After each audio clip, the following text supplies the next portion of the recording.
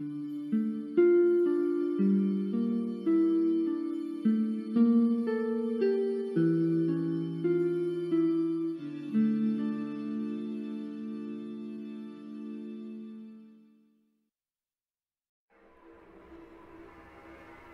John Reginald Halliday Christie was born on April 8, 1899, in Northowram, the West Riding of Yorkshire, England, to parents Ernest John Christie, a carpet designer, and his wife Mary Hannah Halliday Christie, the daughter of a local businessman and Liberal councillor.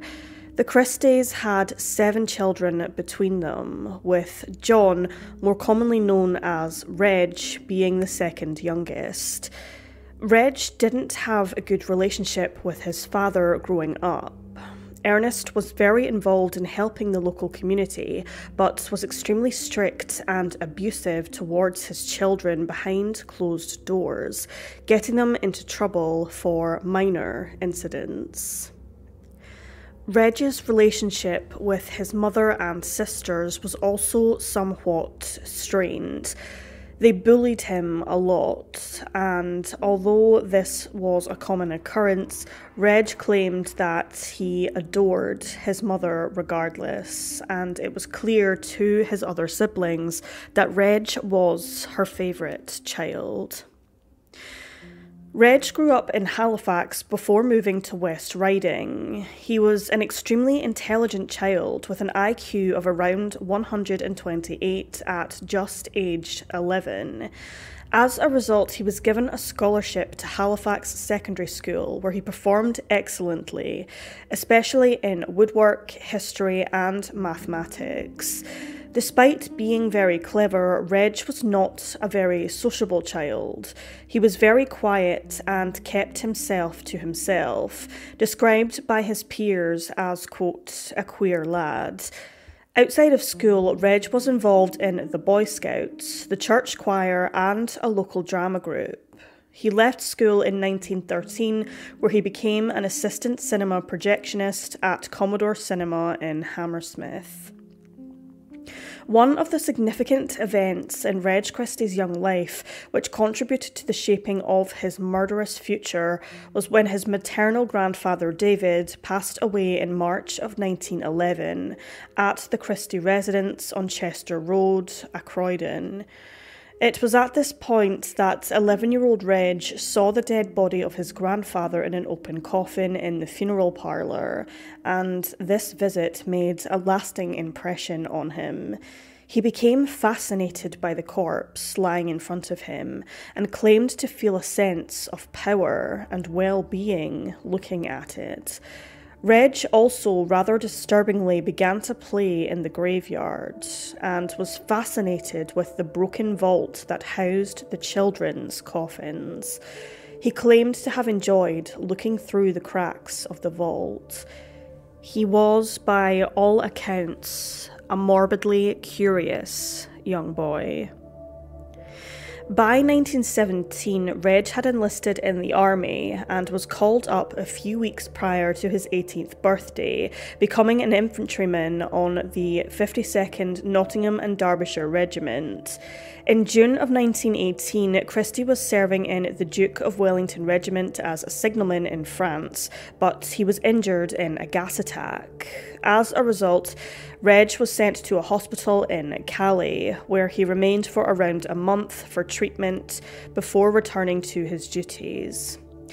At this point, Christie claimed to have lost his voice and sight for around three years following the attack, which resulted in his voice becoming somewhat of a whisper for the remainder of his lifetime. Rather interestingly, his alleged blindness was never on any hospital records, and interestingly enough, according to Scottish journalist Ludovic Kennedy, if Reg had become mute, he wouldn't have been declared fit to return to the army.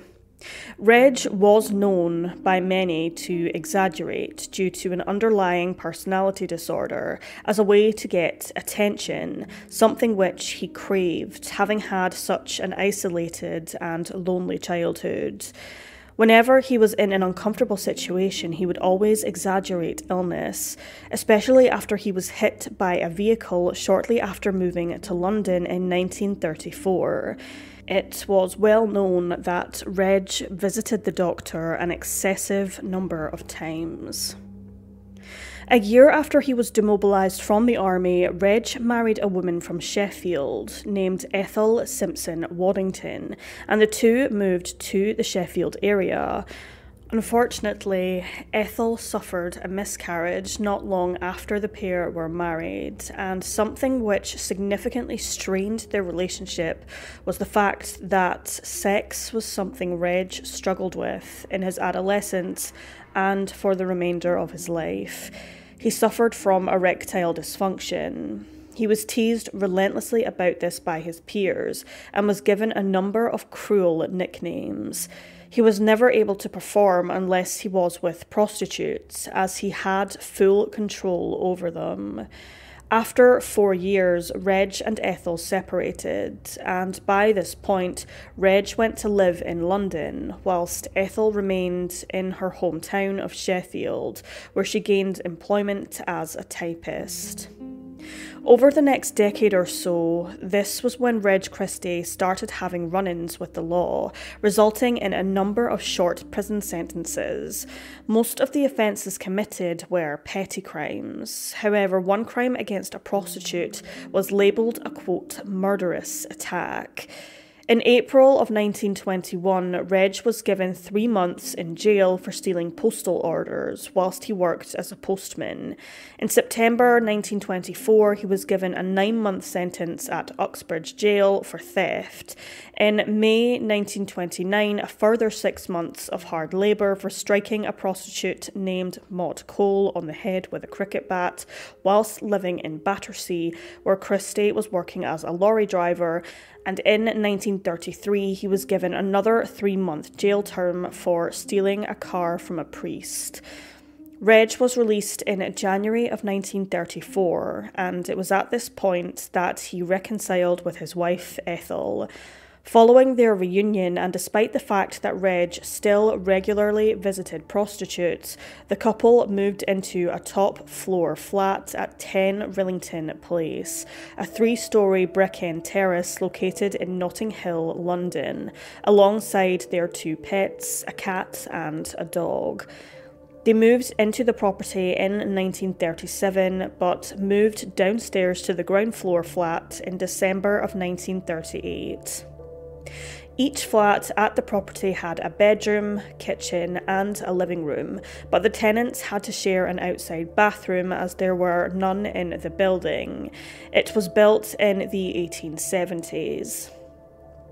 10 Rillington Place was located very near to the Metropolitan Railway line, so the constant noise of trains would have been extremely loud for those who lived in the building. By this point, World War II had begun, and having left his job as a foreman at the Commodore Cinema in Hammersmith, Christie joined the War Reserve Police, a job he adored due to the fact he had authority over people, especially women. Authorities actually failed to do a background check on Christie, not looking at his previous criminal record and convictions, so they accepted him into the force without batting an eye. Christie was sent to work at Harrow Road Police Station. It was here he met a woman named Gladys Jones, with whom he began having a five year affair with. Gladys's partner had actually been serving in the army for the duration of the Second World War, and upon his return, he discovered the affair. This resulted in him going to Gladys's house where Reg Christie was and subsequently assaulted him. After this incident, Christie only ever invited women to his home. He never went to theirs. During his time with the police, Reg used his position of authority very much to his advantage. He commonly followed women and kept notes about them. He even watched his neighbours regularly through a peephole in his kitchen. By 1943, Reg Christie committed his first killing, a murder spree which would span over a decade, resulting in at least eight people dead. Christie's modus operandi in these murders was gassing the victim before strangling them to death. Sometimes he would then carry out acts of necrophilia on the victim's corpses. The first murder occurred on the 24th of August 1943 when Christie's wife Ethel was out of town. The first victim was an Austrian refugee named Ruth Marguerite Christine Fürst, a 21 year old waitress and munitions worker. Despite working two jobs, the pay wasn't great, so Ruth partook in prostitution on the side to make ends meet. She did have a child by a Cypriot, however, she gave up the child for adoption. Christie and Fürst met at a snack bar in the locality. This was where Fürst met some of her clients.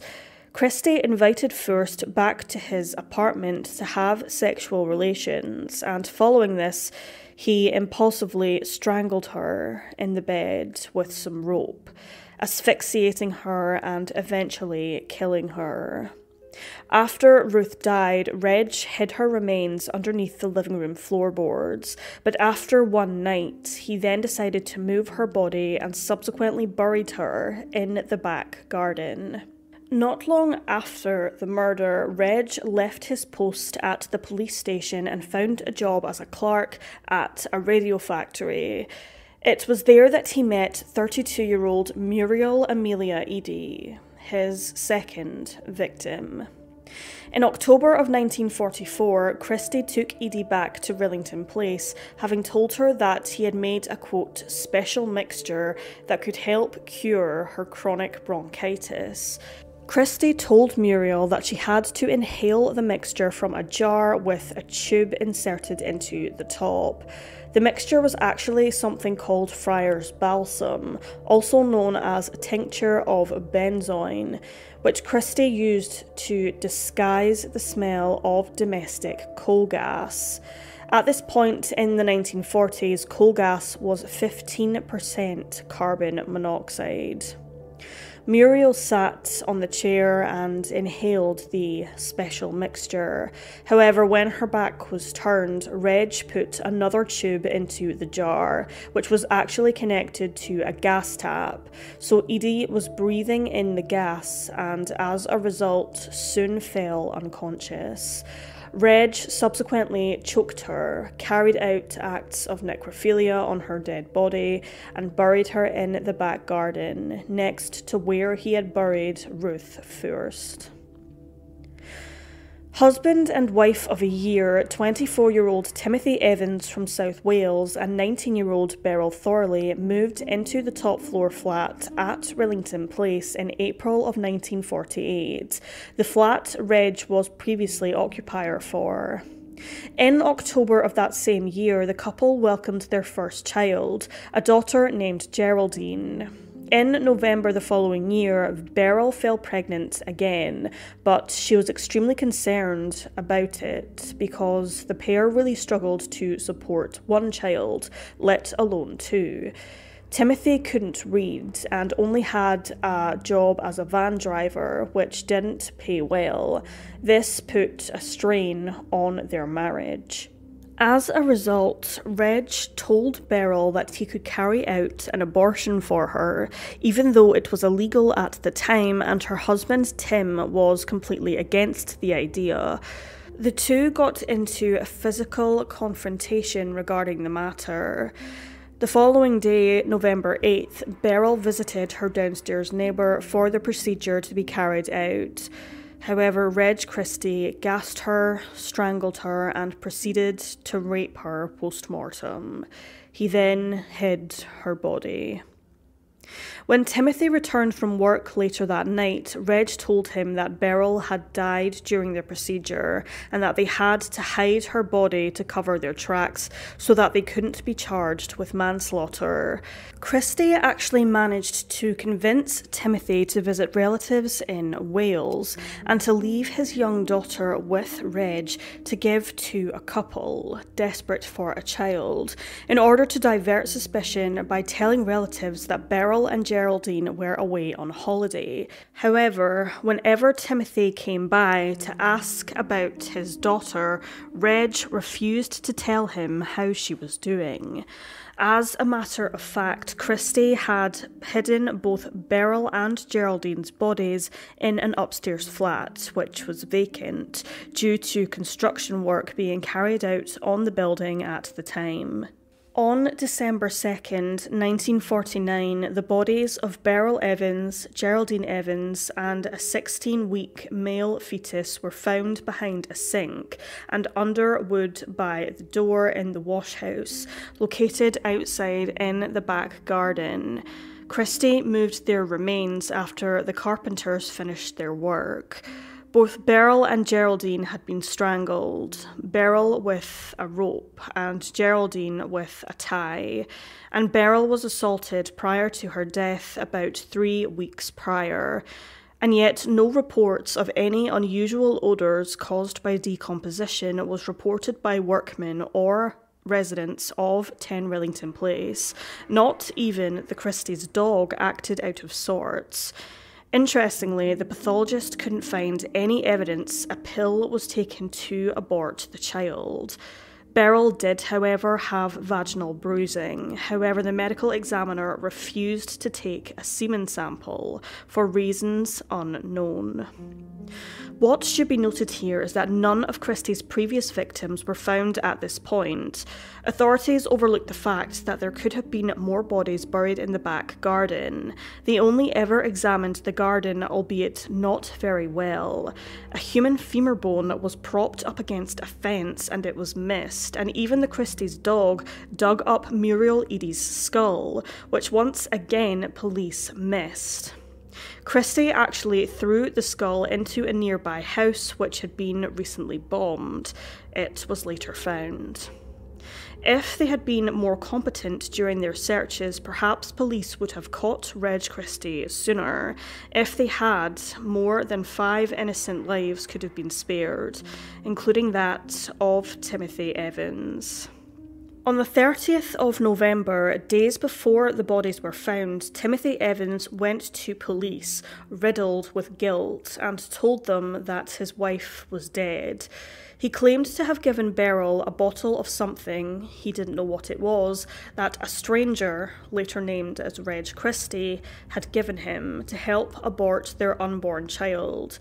However, the process went wrong and he disposed of her body in the outside drain. He later changed his statement and told police that Reg Christie helped move the body upstairs to the vacant flat, but that Reg had thrown Beryl's body into the sewer drain but no body was found, and the manhole cover needed at least three people to open it. Timothy clearly didn't actually know where his wife's body was, which suggested that his confession was fabricated by police, as there was a number of loopholes in his supposed story. Timothy then told authorities that he had given baby Geraldine to Reg Christie to care for her and subsequently left for Wales. Timothy's confession didn't seem to be genuine. Much of it didn't sound like it came from the man himself, several words and expressions throughout being out of place. Timothy wasn't a very intelligent man. He had an IQ of around 70, so many of the expressions in this statement were far too advanced for him to know. Also, Timothy's flat was searched, and what was found was confusing. There was a stolen briefcase and papers scattered everywhere, including a newspaper clipping regarding the Torso murder. Apparently, authorities forgot that Timothy could not read. It appeared as if the so called evidence had been planted there. Also, in Evan's confession, several other details didn't match up. He claimed to have locked the washhouse, which simply had not been the case, as workmen were coming in and out at all hours of the day. He claimed to have left Geraldine alone for two days following the murder, however, no cries of a child were reportedly heard. Apparently, Timothy did not know his 18 month old daughter was dead until police at Notting Hill Police Station asked him about her clothes. He then broke down and was subsequently tricked into giving a false confession whilst in an emotionally fragile state. Timothy actually withdrew his confession shortly after he was charged and continued to blame Reg Christie for the murders of his wife and daughter, as Christie was the very last person to see them both alive. Police seriously mishandled their investigation into Timothy Evans. They apparently showed him the clothes belonging to Beryl and Geraldine and told him that they were found in the washhouse. When conducting murder investigations, it's important for the killer to admit where the bodies are hidden to confirm that this individual did indeed commit the crime. But the police blatantly told Timothy where the bodies already were. When Timothy was initially brought in for questioning, he thought that it was in regard to the stolen briefcase in his apartment, not the murders of his wife and daughter. On the 11th of January 1950, Timothy Evans went to trial for the murder of his daughter Geraldine. However, the prosecution did not pursue a second murder charge for Beryl's death. He was charged in relation to both deaths at this point, however. Geraldine's case seemed to be the most important to go forward with due to lack of any motive. Evans, of course, denied murdering his daughter. The defence severely let Tim Evans down. They didn't even investigate his version of events, seemingly having already made their minds up that he was guilty. They failed to question any witnesses. Reg Christie was surprisingly a principal witness for the Crown at the two day trial, even though Timothy told authorities that Christie was involved in Beryl's death. It is believed that the Crown saw the reserve policeman as one of their own and genuinely treated his testimonies as gospel. Christie denied the accusations against him and told the court about numerous arguments Timothy and Beryl had in the months leading up to her death. He even claimed that the tie found around Geraldine's neck belonged to Evans, something which was later disproven. It belonged to a Mr. Kitchener, the occupier of the vacant flat upstairs, who at the time of the Evans murders was in hospital for five weeks. Reg had clearly taken it and used it to kill Geraldine. Despite the fact that Reg's criminal record came to light, resulting in his termination at the post office where he worked, the jury found Timothy Evans guilty after only 40 minutes of deliberations. Timothy was far from perfect. He did have a bad temper and a number of fights with his wife. He was also known to be a fantasist, making up extraordinary lies, such as his father being an Italian count, and he drank heavily, all of which were used against him at his trial. But he never had any previous criminal convictions. An appeal was launched in an effort to prove his innocence. However, Timothy Evans was taken to the gallows at Pentonville Prison on the 9th of March 1950, where he was hanged as an innocent man. Reg Christie spent the next three years laying low, but managed to find work as a clerk with the British Road Services. At the same time, new tenants arrived at Rillington Place, including West Indies immigrants.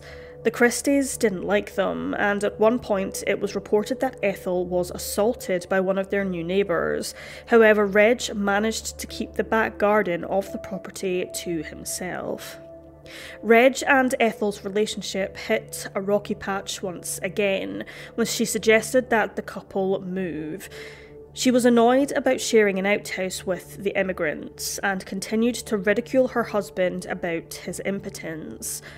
Reg became annoyed with Ethel's constant nagging, and to make matters worse, he quit his job and told them that he had found a better one. but he had nothing lined up. He was staying at home. On December 14th, 1952, Reg Christie struck again, but even closer to home. That morning, he strangled his wife Ethel in bed and buried her remains under the parlour floorboards. Christie explained her noted absence to a number of friends and family. However, his story regarding Ethel's whereabouts were all different. He told one that she was in Manchester, another Sheffield, and seemed in fine fettle in the few days prior to her disappearance. Shortly beforehand, Reg had quit his job and went on unemployment benefits. As a result of little money to his name, he sold much of Ethel's jewellery, including her wedding ring, watch, and even some furniture. Something extremely telling was the fact that on January 26, 1953, Christie forged Ethel's signature and managed to withdraw all of the money from her bank account. Come Christmas, Reg even continued to send cards from Ethel and Reg, making it appear as if Ethel was still alive and well. However, Ethel's murder wasn't Christie's last. In early 1953, three more women became victims to Reg Christie. In February, a prostitute named Kathleen Maloney. On January 19th, Rita Nelson, a pregnant woman visiting from Belfast. And on March 6th, Hectorina McLennan, a Scottish woman who was living in London at the time with her boyfriend. Christie lured Maloney, Nelson, and McLennan back to 10 Rillington Place as he had done with his previous victims, and gassed them in a similar fashion to Muriel Eadie. All three succumbed to carbon monoxide poisoning, were strangled with rope, and then sexually assaulted as they died. After wrapping the victims in blankets, Reg hid their bodies in a small alcove behind the back kitchen wall, which he managed to hide through wallpapering the area. According to one source in regards to Maloney's death, Christie got up the morning after he killed her and made a cup of tea with her corpse still sitting in the chair where he took her life, before placing her body into the kitchen alcove. On the 20th of March, Christie moved out of 10 Rillington Place after fraudulently subletting his flat to a Mr. and Mrs. Riley. He initially met Mrs. Riley and brought her back to the flat. However, unexpectedly, her husband showed up, which caught Christie off guard. After evicting the new tenants the same night they moved in, the landlord allowed the top floor tenant, Beresford Brown, to use Christie's kitchen. Four days later, Brown started cleaning the kitchen due to a bad smell. He then decided to put a shelf up in the kitchen for his wireless radio. However, it was at this point that he discovered a hollow in the wall. Presuming that there was a cupboard behind the wallpaper, Brown peeled it back, only to reveal the secret alcove. He opened the door and shone a torch into the confined space, and he jerked back in fright. He was unsure at first what he had seen, but upon closer inspection, Brown realised that he had found a dead woman, her back facing him. Brown had stumbled upon the perfectly preserved bodies of 26 year old Maloney, 25 year old Nelson, and 26 year old McLennan. The police were immediately informed, and they then went looking for Reg Christie.